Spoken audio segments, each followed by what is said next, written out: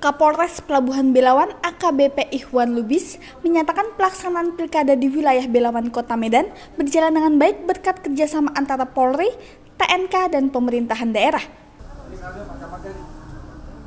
Ikhwan juga menambahkan, selama jajarannya mengamankan pelaksanaan pilkada, pihaknya tak pernah berpisah dengan TNI, dalam hal ini Koramil. Bahkan harmonisnya TNI Polri di wilayahnya sudah lama terjalin lewat berbagai kegiatan seperti operasi pekat, razia miras, dan juga sering melakukan operasi bersama. Kita di sini 6 orang ya, kecamatan ini secara upload 24 jam. Gantian demi pengamanan surat suara apalagi dalam sidang hari ini.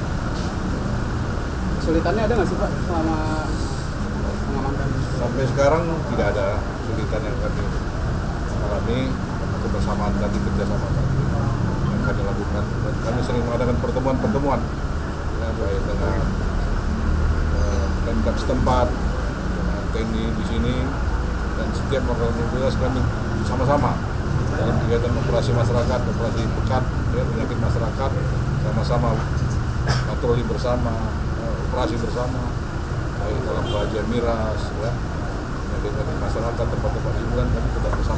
Selain itu, Camat Belawan Kota Medan Ahmad juga mengapresiasi kinerja Polres Pelabuhan Belawan dalam upaya mengamankan Pilkada serentak 2018 di wilayahnya.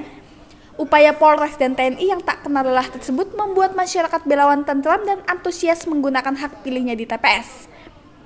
Lebih lanjut lagi, Ahmad mengatakan pihaknya bersama jajaran keamanan juga mengadakan posko. Bahkan di kantornya sendiri seluruh aparatur mengadakan apel bersama baik dari Pomal, Lantamal, Marinir, dan Polres.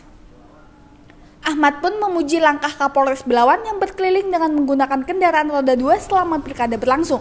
Di wilayah Kecamatan Belawan sendiri ada 133 TPS yang dibagi di 6 kelurahan dengan jumlah pemilih sebanyak 50 ribu lebih. Sedangkan saat ini baru 57,6 persen suara yang telah dihitung. Rekan-rekan semua uh, yang pada hari ini hasil saya sebagai camat Kecamatan Medan Belawan, Kota Medan, didampingi oleh Bapak Kapolres yang kami sayangi, Kapolres Pelabuhan Belawan.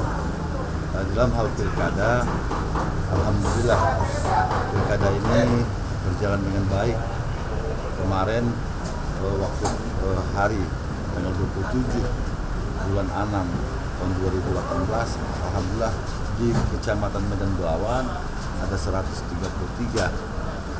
TPS terdiri daripada dibagi melalui 6 kelurahan. 6 kelurahan. Jumlah pemilih lebih kurang 60 ribu dan kelurahan.